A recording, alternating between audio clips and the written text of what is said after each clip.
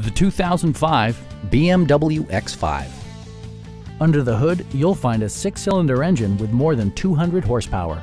And for added security, Dynamic Stability Control supplements the drivetrain. All-wheel drive keeps this model firmly attached to the road surface. A wealth of standard features means that you no longer have to sacrifice. Like heated seats, power trunk closing assist, front and rear reading lights, a leather steering wheel, a built-in garage door transmitter, heated door mirrors, rain-sensing wipers, and power seats. With high-intensity discharge headlights illuminating your path, you'll always appreciate maximum visibility. For drivers who enjoy the natural environment, a power moonroof allows an infusion of fresh air. Side curtain airbags deploy in extreme circumstances, shielding you and your passengers from collision forces. Our sales reps are knowledgeable and professional.